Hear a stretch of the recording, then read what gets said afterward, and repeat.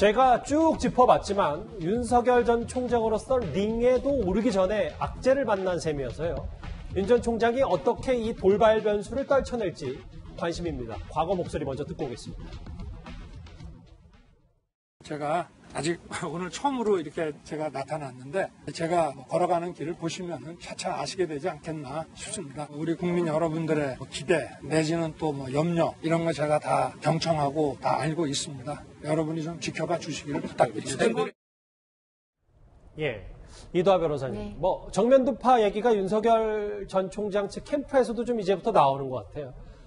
아, 제가 뭐 채널의 단독 보도로도 알려졌습니다만 이번 주 일요일 혹은 뭐 6월 말에서 7월 초 사이로 조율 중이다.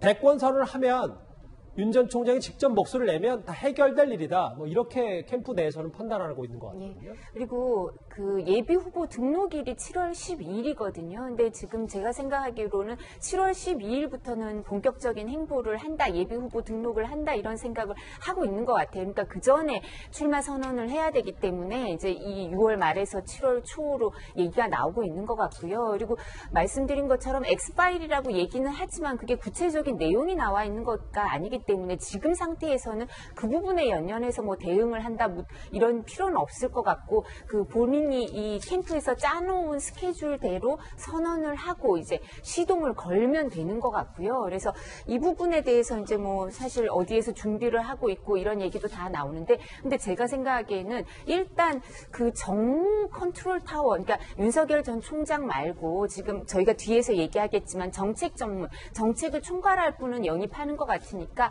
정무 부분을 좀 할 분을 좀 총괄할 분을 어, 영입해야 되는 게 아닌가 그런 생각이 들고요. 그 다음에 이제 주변에 있는 많은 변호사님들은 저도 법조인이니까 얘기를 하지만 네거티브 대응팀에서 열심히 일을 해주시면 어떨까 그런 생각을 해봅니다. 예.